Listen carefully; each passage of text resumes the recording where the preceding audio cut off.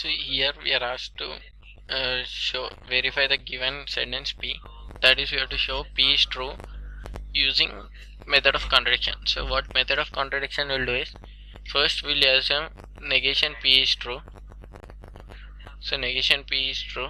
This is uh, assumption. So first we'll assume this. After this, we'll from this we'll prove that it's contradicting that is it is uh, it is false. Or uh, by assuming this we show that it uh, opposes the uh, basic mathematical rules. And from that we'll try to prove that it is wrong. So its opposite must be true.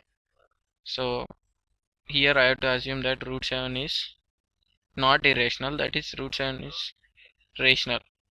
So if I say root 7 is rational that means root 7 can be written as uh, a by b. Some integers a and b are both integers. So I must be able to write it like that. So now what will become is root 7 uh, if I square it will become a square by b square. So that implies a square is equal to uh, roots sorry 7 into b square so now from this I get a equal to root 7 into b. Or or some way I should uh, I should be able to write uh, a equal to some 7 into c. So that uh, so that uh, what you say so that uh, a should be some 7 into c because here a square by 7 which is equal to b square which is equal to b square must be must be an integer. So a must have had already 7 in it. So in some way or before understanding this here I will show. Here a by b um, if we are writing a rational number p by q that means p and q have no common factors. So if I, if I write p is equal to some nq then n must be a factor of q. Sorry a factor of p.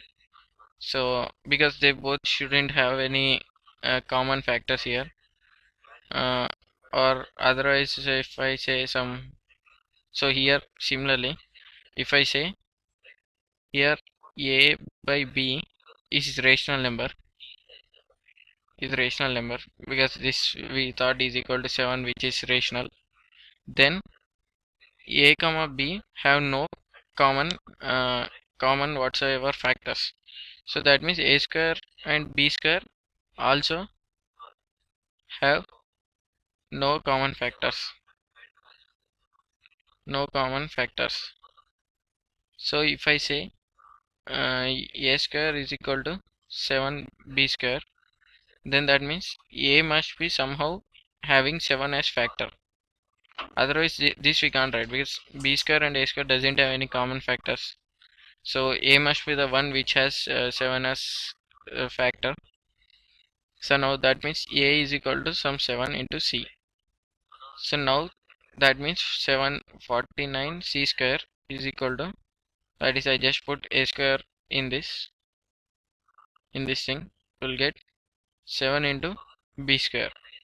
So that implies 7c square equal to b square and from the previous logic uh, this must imply that b is having 7 as factor now.